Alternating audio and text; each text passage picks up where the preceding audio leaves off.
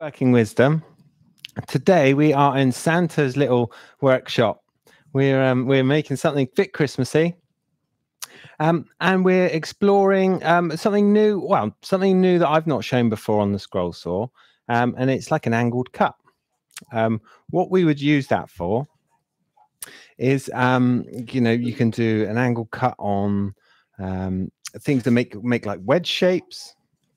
Um, and also, you know, I'll, show you a couple of other projects that this this can apply to. Um, it's a really cool little thing. Okay. Sorry about that. I got a little bit distracted. Had some uh, something playing in the background, um, but we're all on board now. Um, that again, we're we're making like an angle cut. So we're going to throw the head of the um, of the scroll saw over and cut like a, a wedge shape. Um, you can do this on um, the the trade machines, the the whole head tilts on um, on the craft machines. You get the table tilting. Um, so it's a really easy little thing, um, and we're not throwing off at crazy angles or anything like that. It's a nice, simple, um, simple little project. Um, but less about the project today and more about that kind of uh, a slightly different technique on, on what we can do. Cool. So let's have a little look at some bits on the bench. Um, there's a few bits I want to show you. Um, this uh, template, by the way, is downloadable if you wanted to have a go at, at this. This is the uh, little three wise kings, and they're going to be following the, the Star of Bethlehem. Okay. Here's one we kind of um, had a go at. Um, there's a couple of things on here I wanted to show you where I made a little mistake and and things like that. Um, and it's all good. It's all part of the learning process. Um, so we'll we'll go through it. First thing, um, like I say, you can print this off. This is a, a downloadable PDF. Um, that's just at the bottom under the video where the links are. I'm just going to chop off our three wise men. We're going to leave the star for now. We'll, we'll revisit that one. But for now, we want our three kings or the magi or whatever we call them. And we are going to put a bit of Copydex on the back. This is my preferred method. Um, it is a little bit stinky, if I'm honest. It's not it's not a pleasant smell. Um, but there's loads of ways you could do this. You could use a bit of carbon paper to transfer it on. You could um, you know, just stick it on with a bit of masking tape and Pritt stick, something like that. Um, but I really like this stuff. It's it's just so easy and it's nice and clean. It saves me a little job afterwards of potentially sanding off that carbon or um, you know sticky residue from from other uh, bits. So we've got our three kings, and I'm not putting them on the um, on the bottom of the board. We're going to raise it up a little bit because these need to be contained right the way round. Um, and we need to do this in a, in a single cut. I'll show you how that works in just a minute. So template stuck down.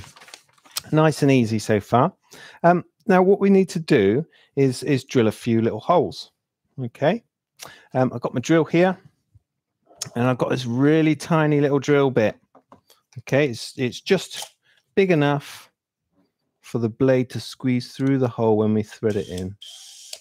Um, if you go much smaller than this, the chuck struggles to hold it. And of course, we need to go right the way through. So we need to just check um, that that's going to plunge right the way through. A little backing board so I don't drill into my bench.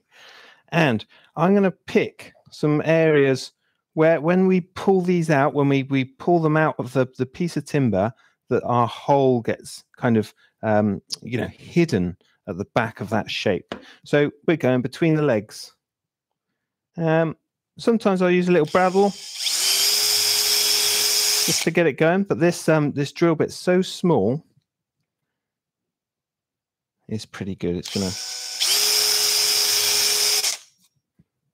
make its way through. And let's go in here. Oops. So just skid it across on that glue. Doesn't matter that we've lost a bit of the template. You can always um, pencil it back in or just you know use your imagination. It's not a you know a difficult shape. We're just coming up to a V here, and um, yeah, so that's it. Just make sure we've gone right the way through, and we're good. Again, there's not much breakout on the back. If there was, if you're using a bigger drill bit or something like that, and you get these fibers split off, just get a um, a bit of abrasive, whiz it over the back there, um, and then you're not rocking on the on the table of the of the scroll saw. Okay, so we're coming over to the scroll saw. I'm just going to pop my project there for the minute. Um, what I want to show you is actually under the table on this one. So under here, like we said before, um, we've got a little rack and pinion system. Got the Bristol locking lever there, which holds it all um, rigid when when we're not tipping it. And if I just push that one across, you'll see if we tilt the head, that's it, lovely. So you can see on that overhead camera just how much of a swing that goes over. And we've got 45 degrees in both directions there. Um, so we've got plenty of scope. Um, could be nice to, to cut little chamfers on things, um, but we're using it today to create a little wedge. And what I'm going to do is just kick it off, and it's only a tiny bit, two degrees.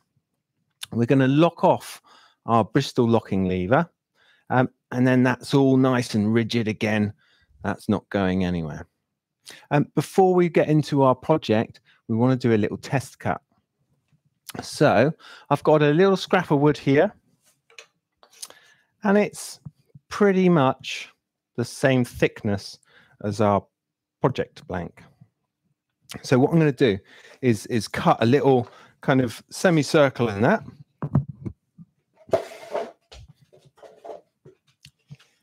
Let's pop that back out the way.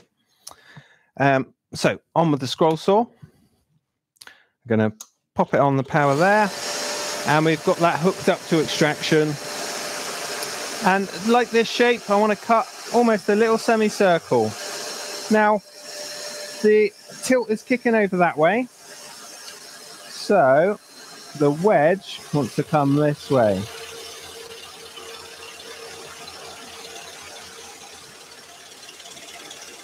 And this is just a practice cut to make sure that we're good to go before we get into our project.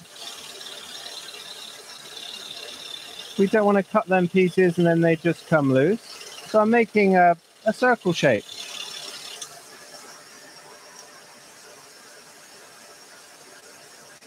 Now if I push it from the back, you can see how that piece is locked in because we've got that very slight wedge shape um, and it's come up about half the um, thickness of the material. Okay.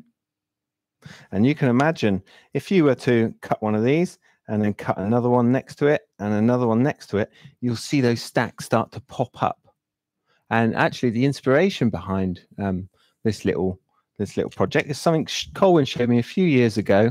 Um, a man called Jim Sterling makes these beautiful castles, um, and they're just like that. They're cut in in circles, and then you pop them up from underneath, and you get these lovely kind of um, spires and towers all coming up. Um, so check that out. Jim Sterling, he's got a book out on um, Scroll Saw Castles. A lovely little um, project book. Um, but yeah, check it out. Uh, using very much the same technique um, for our little project today. So, um, we're live here today. Don't forget um, any questions you've got, just chuck them in the chat. We've got Colwyn with us today. He's looking after us on cameras and questions. Um, so, any questions you guys have, um, just call them out. So we've got to think about it a little bit. If the um, the the blade is just um, tilted that way, that means I need to come around my project clockwise to um, to create that wedge. And we need to do it all in one cut. We can't start here and then have another one start somewhere else and go in different directions because then you're going to get two parallel cuts going off in, in the same direction is not going to create that wedge. So we need to do this in, in one hit. So back on with the scroll saw.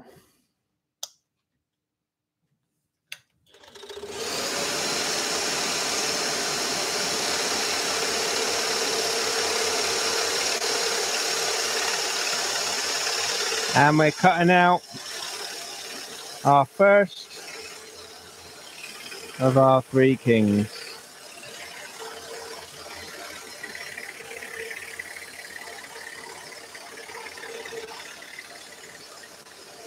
I've got a nice new blade on this it's really fast cutting.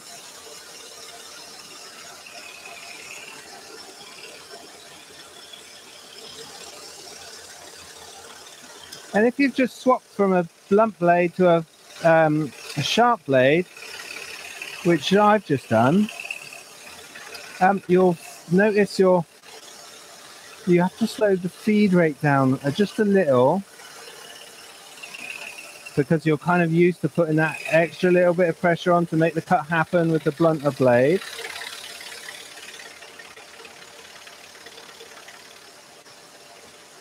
So using the blade to pivot on, kind of transferring my pressure to the back of the blade when we make those very quick transitions in direction. Constantly switching grip.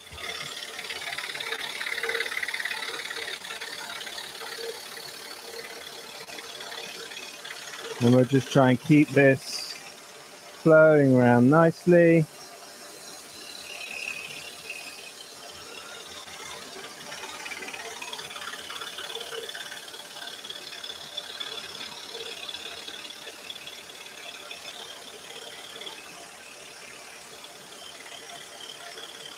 And this is a rough shape to follow. We've given it quite um,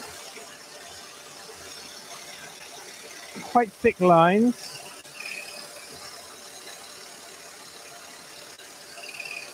On the on the PDF. Oops.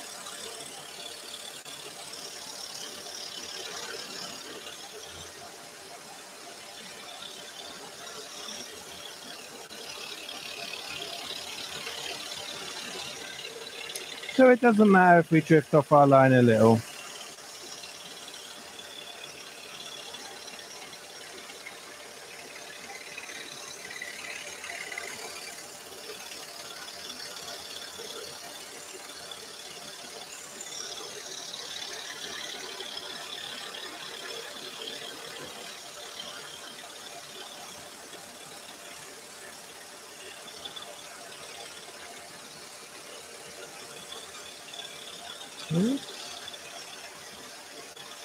So, come back round to that drill hole,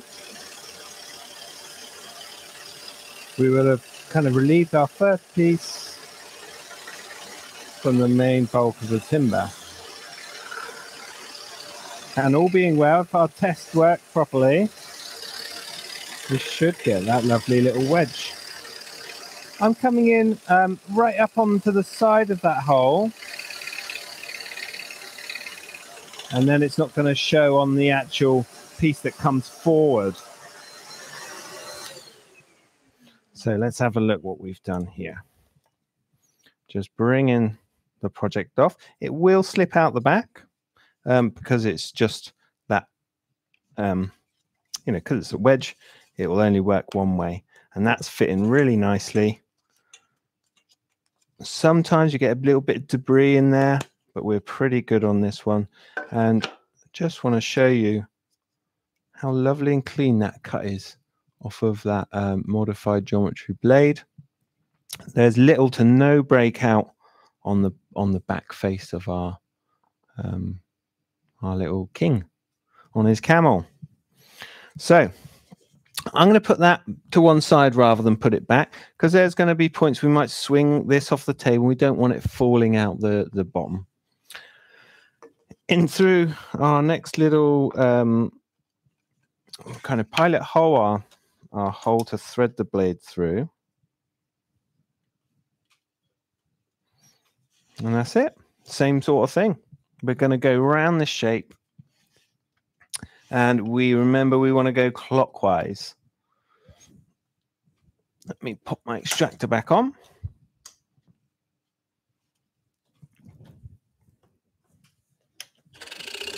So I've got three buttons here to, to press.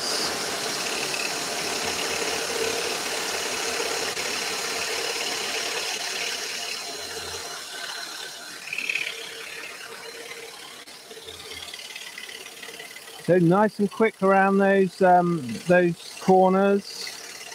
Want to quickly whiz it round that quick change in direction. I find if I try and take it slow and be very precise, it usually ends up with a kind of a rounded look when actually we kind of want a hard angle on this.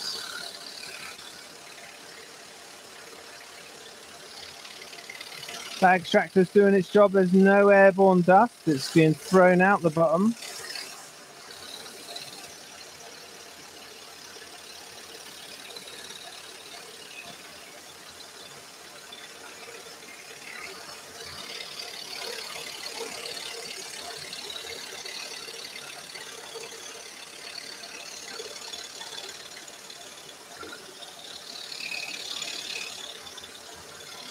And just being extra careful in this section to not overlap those two little cuts. I'm just changing the shape up very slightly. And the one um, that's downloadable in the links there is A4, so slightly bigger than this one. I've, I've reduced the size of it to suit my bit of timber and this is the um, the, the poplar or tulip that we use a lot of here.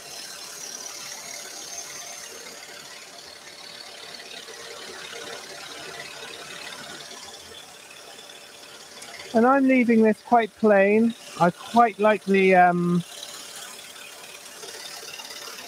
the the just the look of the the wood itself. Um, but of course, you could paint in a background scene. You could have um, you know Bethlehem in the background. You could um, have the uh, the kind of um, the hut with with Jesus and Mary and Joseph. So this is really just something to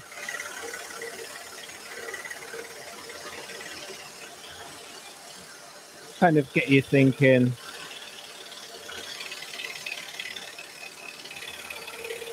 I really like pyrography, so I would probably spend a little bit of time doing a bit of pyrography, maybe use a scorch marker to um, create some interesting hills and things in the background. So just testing each one as we go. Being a little bit careful. Um, because in this piece of timber, we've got our grain running this way. And you can imagine through these legs, although it's quite a thick piece and should have that kind of structural strength, we have got short grain running through here. So just be a little bit careful when you're um, taking these apart. Lovely. So that's two or three.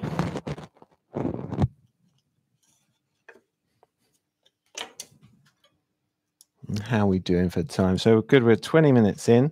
We've got two wise, uh, two wise men, and of course, these could be part of a little scene just by themselves. You know, you could cut out um, all sorts of different shapes. You could have the whole nativity in there with, um, you know, donkeys and sheep and all that sort of stuff. Um, so, you know, again, something else you could do with this project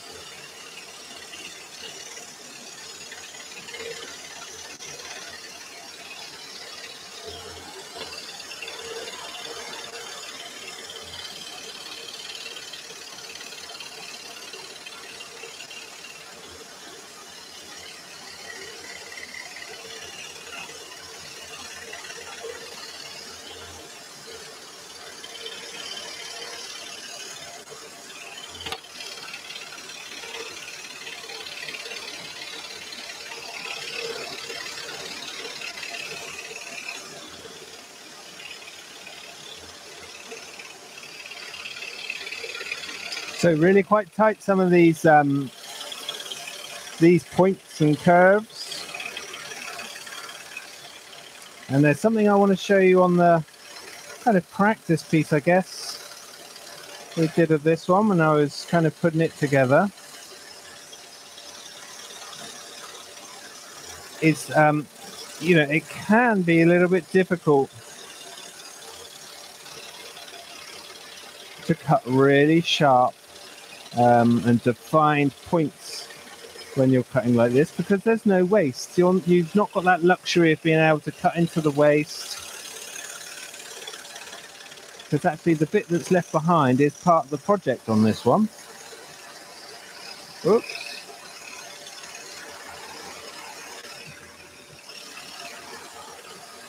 So we've got a question coming, I think. I'm just going to just come around this last little bit and then we can um, have a look and answer your question.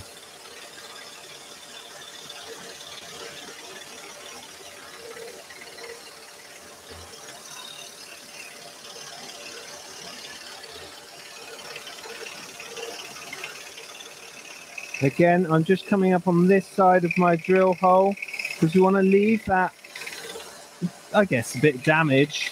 Want to leave that in behind and not actually on our leg of our camel or on our free wise, uh, one of our free wise men anywhere. So that damage where we did um, our, our drill hole, when we bring that forward, is going to be hidden back there in the little um, little V of his legs. Okay.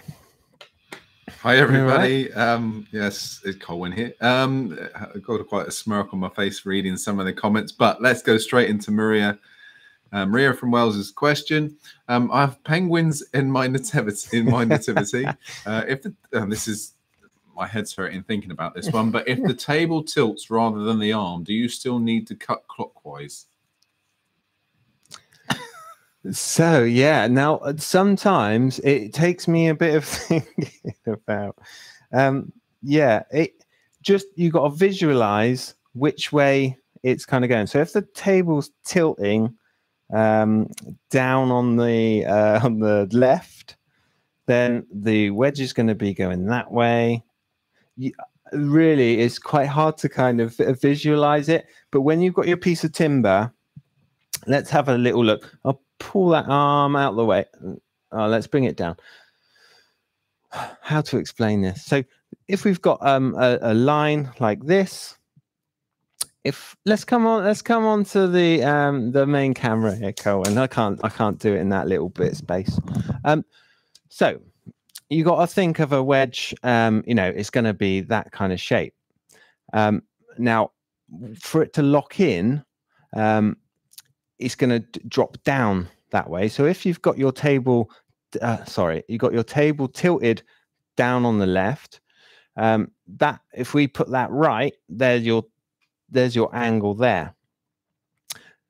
So we need to be able to this wedge. It it is a lot easier if you've got the the saw in front of you and you can kind of visualize which way it's going. Basically, um, you want your wedge to come up the, this way um, when you're cutting it from the top down. So when you pull that up, it's going to kind of wedge into the into the workpiece. But it does you know you are going to have to kind of think about it a little bit. Um, otherwise you kind of undercut it. Um, and that's not the end of the world. What it will mean is if we're if we're doing stuff like that and we've got like the little skinny legs on the camel um, that they're going to taper uh, to be even thinner um, so when you flip the project over and, and kind of punch it up from the back um, they, those those components can be quite thin. So um, work it out. So when you've got your project on the table, you tilt the the table or the head. Um, that you're going to create that wedge and kind of just kind of visualize that. Sorry, that was a rubbish answer. I confused myself then, but it does take a little bit of thinking about and, and just offer your project up to the up to the saw and kind of take that moment to kind of think which way round you're you're going. All right. Yeah, thanks, Ben. That was that was a great answer. Um, so Frederick is asking, he's and, and linked to what you just said there. Would it be a good idea to strengthen the legs using CA glue to reduce the risk of them snapping. You could do that. Um, uh, the really thin one is going to kind of um, soak right into the timber. Um, so you could. Um, I wouldn't like it. I don't like super glue in any shape, way, or form. Um, it it just makes a mess, and I, you know, I stick myself to things. Um, so I, yeah, I don't really like super glue, but you could use that um, super glue um, to kind of stabilize the timber. Um, but I, I wouldn't personally. It, it, it, would make a mess if you want to put a, then put a finish on top. It creates a bit of a barrier. All right. Uh, one here from Fuller Blarney says, in future, perhaps a mention in the notes of the blade styles used for the particular project. So maybe we could talk about that. Yeah. So Fuller, if you just look in the um, links under the um, under the description there, we've we've got the the link to this blade. This is the uh, modified geometry blade, and if you get on that page, um, check out Pegas. Um, they do like a chart, and they've got every blade you know you could ever want on there, really. Um, but yeah, check that out on Pegas on our website. Um, click on the link to the um, the modified geometry number five, and um, you'll see um, it'll, so it'll take you to the page. Um, have a look at the information downloads, and there is a very thorough worksheet on there, or kind of table of what you need for what material, different thicknesses, all that kind of stuff. Okay. Yeah, can we just go back and have a look at your test piece? Because Fuller Blarney is saying the same thing here. One way to determine the desired projection is to try to cutting test circles from a scrap piece. Yep. Um, so similar to what you've done at the beginning, I think, just to give you an idea. Yeah, yeah. So I, that's what I kind of um, perhaps missed that bit.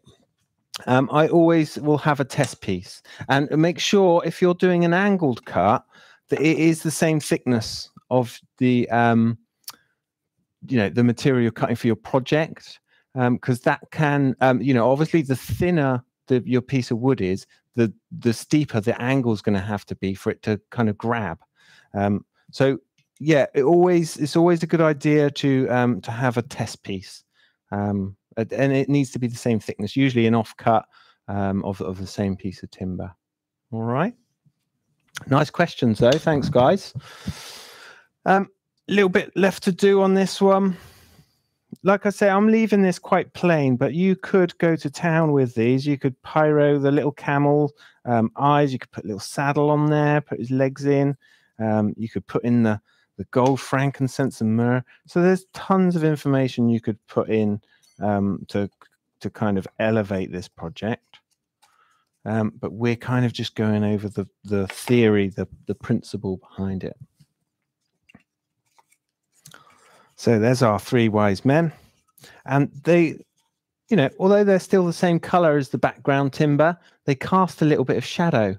They can't, they, you know, they give it that nice kind of three dimensional um, look. And again, you could sand this in, you could soften the, the edges, give it that kind of roundness.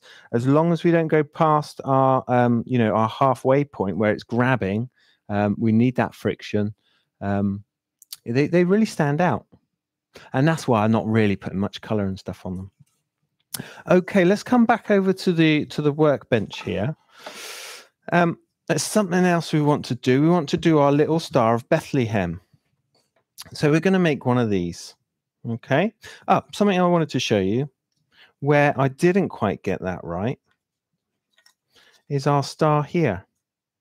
Okay, so I was originally going to put this little um, kind of star in but really difficult to get around all these um, points um, uh, to keep it nice and sharp. And I had to drill lots of holes in the side. And by that time, I was a bit fed up with it and a bit annoyed.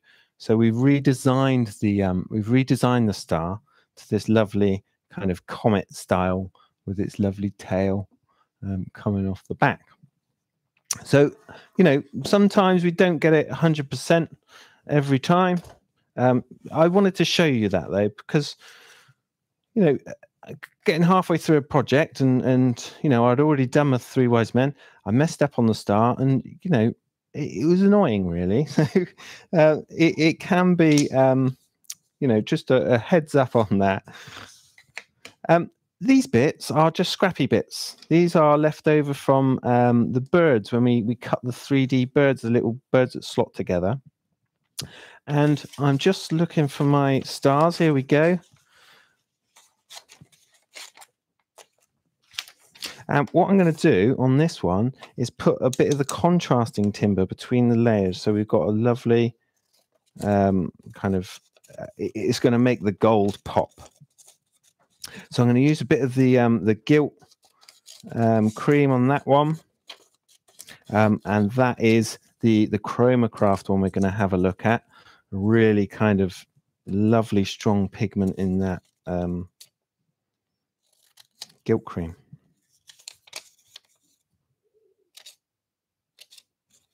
So just trying to cut these down to size because then we can save on a bit of glue and a bit of faff. So let's just come around these. Good. So I want the middle one, the kind of middle star, to be um, a dark of timber. We want our big one on a light one. And then we've just got the little one there, which we can just pop on anywhere. Again, we're looking at the direction of the grain. We want to make sure, um, you know, we're not that way around and then these are very short grained and we could potentially snap those. So go with the direction of the grain and just stick on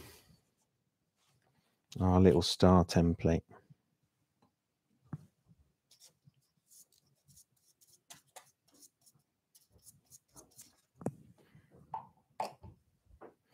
Nice to see some of the regulars in the chat there. I hope you're all having a lovely day.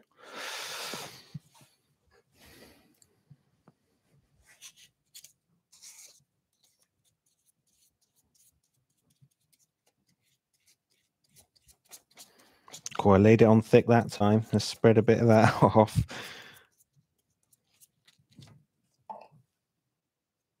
That can go on there. getting close to the edges and you know don't chuck away all these little bits on a scroll saw you know that some of these components are really small so we want to um you know keep these little offcuts um especially these thin bits they're quite difficult to machine sometimes um, and you can save yourself so much bother by having a little kind of scrap pile that you can delve into good so the rest of this is really easy now. Let's go back onto our scroll saw. Um, I'm going to drop this hold down guard. Let's just bring my arm down so we can get that blade in. Quick tension. And my little hold down guard's just going to drop down a bit as well. We need to be able to swing that project around.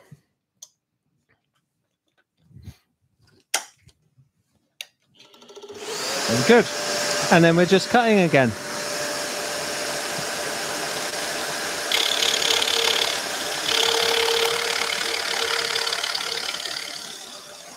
Get that blower working for us.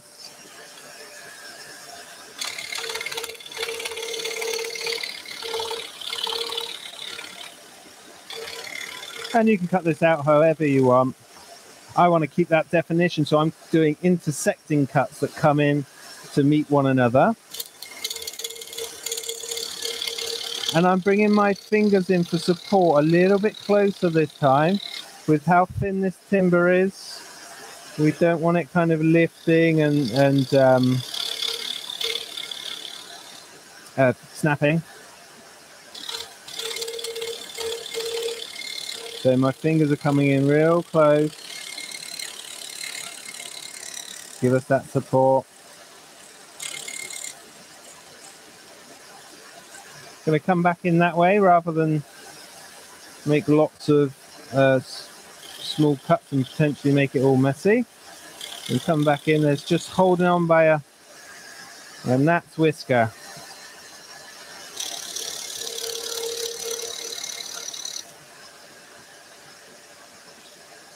My blower is just um, not behaving itself. So just lift it up out of the way there.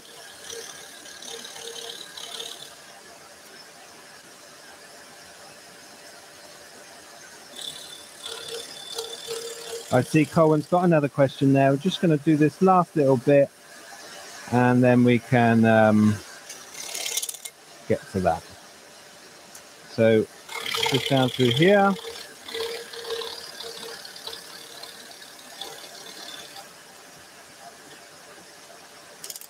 Oops.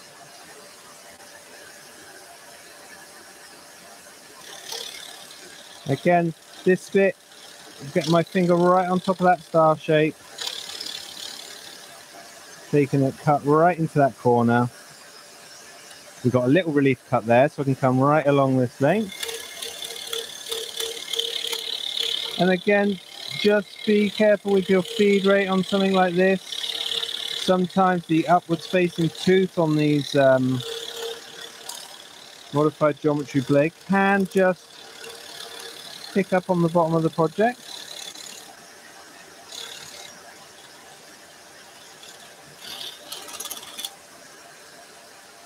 Whenever I backtrack out the thing, I always have the teeth facing on the waste side. So as not to kind of mark the side of the project. Good. Um, let's come just across here. Again, not bothering this stage to um, pick out all of that detail. We're just cutting this star, supporting it right the way along into that spot. And then we've got some little cuts to make here. Oops. Well, that give me a little fright then.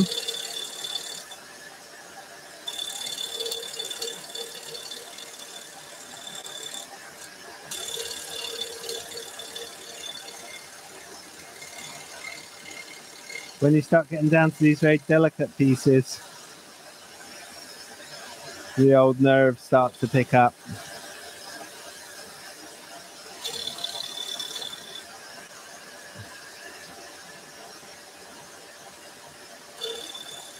Again, I'm going just a little bit wider than what I've done there, than what's on the, you know, the printout of the project.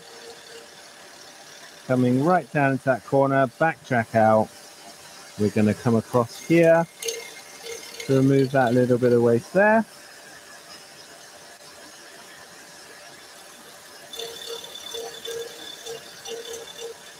And again, I use my finger if you're a bit worried about that, you can always get a bit of the, the waste. That can help to um, stop the project lifting. And I'm just skimming across that bottom bit.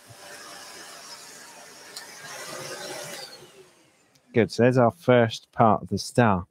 And it's on that nice dark piece of, of tulip. Actually the same timber, um, just from a different different plank. We've got a bit of color on this one. All right. Okay. So yeah, we've got a few questions here. Firstly, did you is that still on two degrees, your table? Or is it it is still on two degrees. Um yeah, yeah, good point. I should have put that back straight. Um, but it's not going to matter at all. It's going to do um, on this thickness of timber, you're not even going to see that. Um, it, you you won't even see it but yeah, we can. Um, we're not cutting wedges anymore, so let's just pop that back onto one zero degrees, and then we're back up at sorry ninety degrees. I guess it would be on the table. Just to let you know that uh, Maria lost a connection when you gave the answer about which way to tilt the table. Um, but don't worry, she says she will backtrack later. um, Have fun listening to that, Maria. That was a bit of a um, bit of a funny answer on that one. It's difficult. It's a difficult thing to explain unless you physically got it in front of you. Um, but you, just offer it up to the table, see which way the blade is um, kind of um, tilting or the table's tilting, and kind of envision that wedge shape. Fuller Blarney, it might be interesting to first glue a layer of contrasting veneer, and eventually that would lead to marquetry and inlays. That's quite a clever yeah process yeah. yeah nice Um, Yeah, like Frederick wants to know um, what's the thinnest material you have cut? Could you use a thick card for making templates? Yeah, you could use um, you could use card for sure. Um, thin stuff, any thinner than this, and um, is I turn to ply. Okay, um, you really need that kind of cross lamination when you get any thinner than this. This is about um, four mil, um, and it just you know it, it feels a little bit hairy when you're cutting it sometimes that you're gonna um, that something's gonna snap or something like that just take your time, nice slow feed rate, um, and um, kind of get that support in close to the blade. Um, Fulabani again, he's um, interested in seeing a demonstration on making the collapsible or fruit or egg basket um, with the angle cutting technique. Cool. Well, Fuller, the wait is over. We've got. I got. Can we go on the main? Uh, sorry, let's go on to the bench. So something else I just wanted to show you. This is very much um, same sort of technique. It's using that angled cut, and this is a collapsible little fruit bowl. Okay, and what we've done is um, this is all one cut. It's a spiral that goes round and round, um, and there's lots of really nice plans and stuff out there for these types of things. I've seen them um, that chicken shapes, which will hold eggs. Um, these kind of fruit ones, you get different ones. And also, when they fix the base down to something, they'll have a pin through here, and you can kind of lift the handle. And as that arc comes around, it pulls this up and it kind of sets everything in place. Um, a really boring demo, though, because we're, we're, we're just cutting a, a, a circle. Okay, that you can see, I've, it's an old pyro practice piece. But um, yeah, it's you will all be asleep by the end of this demo. It takes about 40 minutes to cut it. um, but they're really nice little um, little projects, and perhaps we could um, we could you know do a um, a little sped up version, if you will. Collapsible egg cup, maybe. Collapsible egg cup, yeah, like that. Maria's but- um, Maria's just saying she can add a Death Star to her three wise penguins and make a scene. a Death Star. wow! So we got we got penguins and Star Wars. That is not traditional Christmas. Uh, I like it though. It's really cool. Um, what else are we doing here? I've got my starter cut. I got sidetracked then. We're back on the scroll, so we're cutting a star.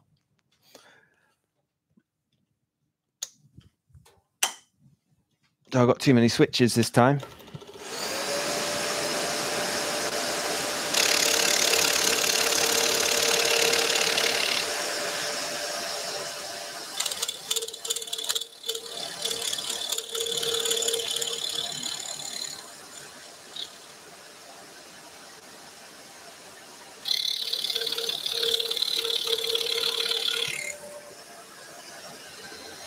So time's running away from me a little bit. Something else I wanted to show you guys.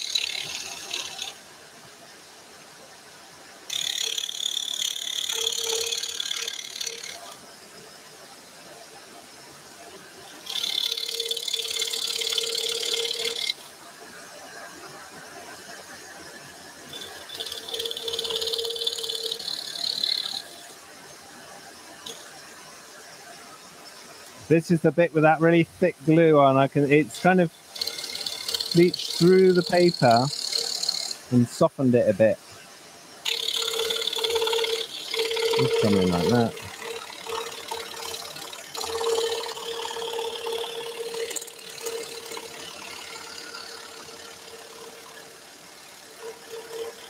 Again, always slow down where your two cuts are going to kind of intersect. You don't want to overshoot it. You'll end up with little um, marks on the finished piece.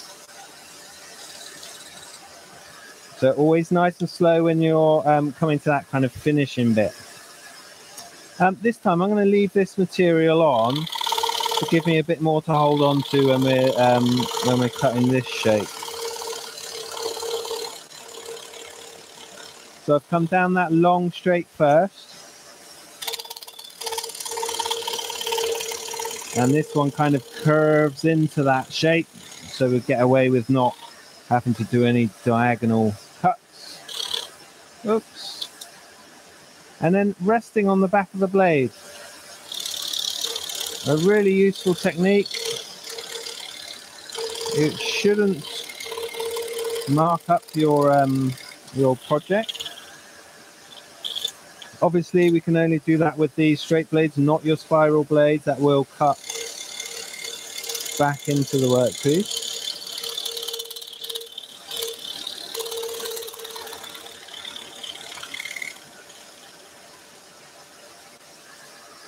That's good. And let's just come along here. Oops. Sorry, I'm rushing now.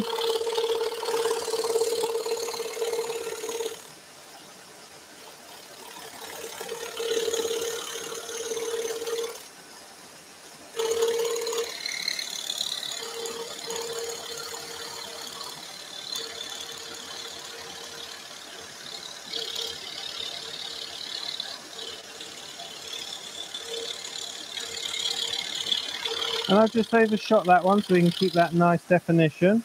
And then I'm going to come back in from this angle. There. There we go, another start. And I'm just going to quickly whiz this one out.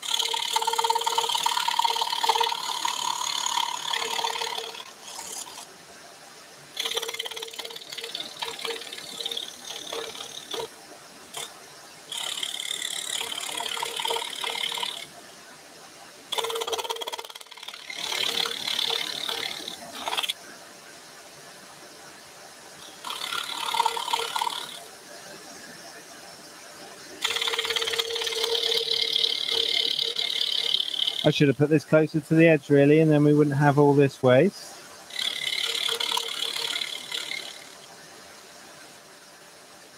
Um, and I'm just going to come up this cut here and just take that out. Just don't want to knock off my little fragile star. And I've got this tiny little bit here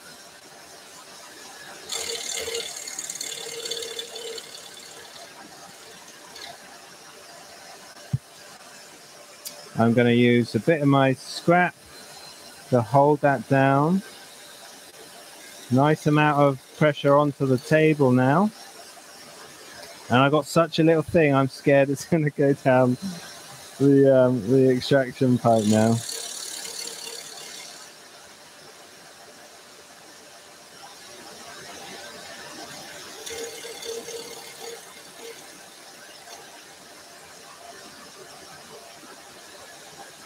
Going to get sucked up the hoover. You did it. You're good. So you can um, shape these in if you've got, um, you know, I've got a little bit of a spiky one here, um, but a little bit of abrasive. You'll soon um, take that off. Very good. We've got a little star there. And then just taking off our template.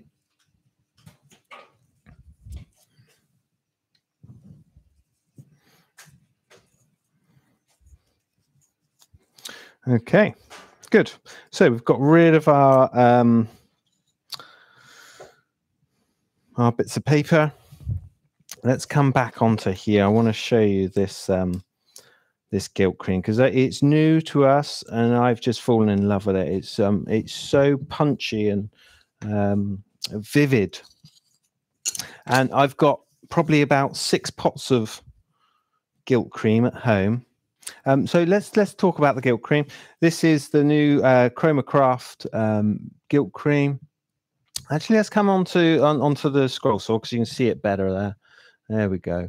Got the Chromacraft uh, gilt cream. It's in a tube, um, so it lasts for ages. Like I was saying, I've got loads of pots of gilt cream at home, and they've all dried out, um, and so it's a real pain. And uh, you know, half of that product has gone in the bin. Okay, so we've got another question. Yeah. Hi.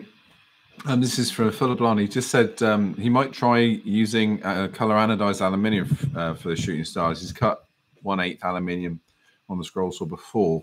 using uh, petroleum jelly as lubricant. Good idea. Cool. Yeah. There's lots of. If we can come back to that um, main camera there, Colwyn.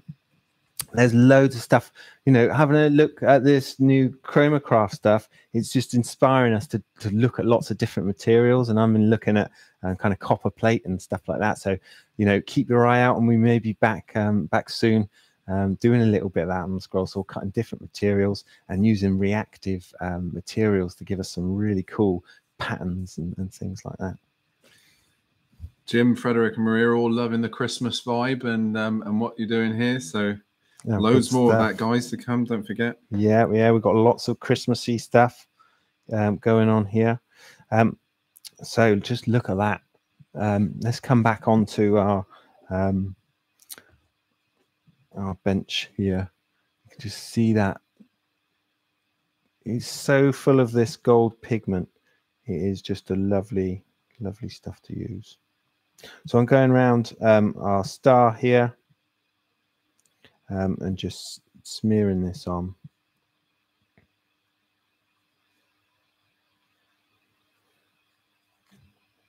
And you can see just how kind of punchy that is when it catches the light.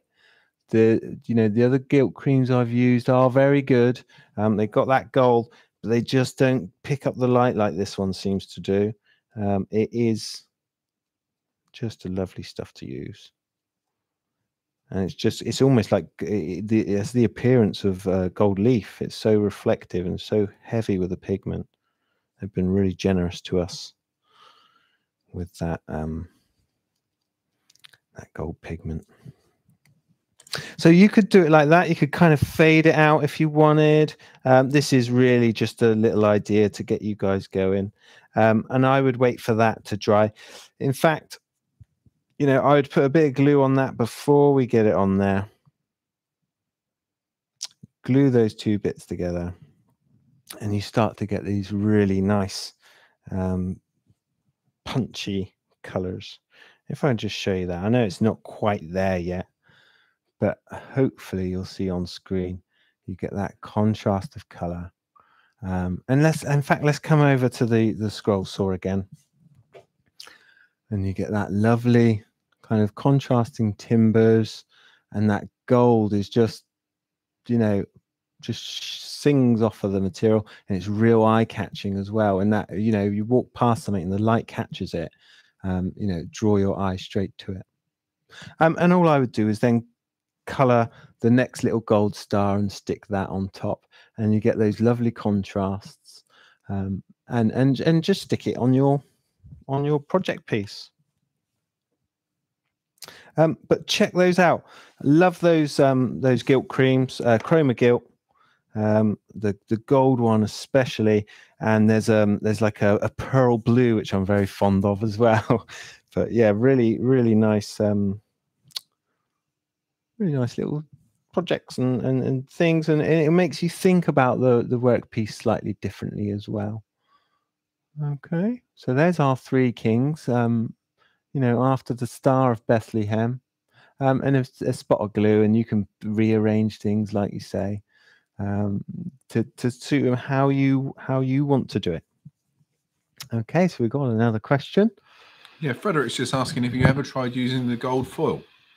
It's called foil. Yeah, I have. Um, I've got some. Um, I've got a fake one, and I've got an actual.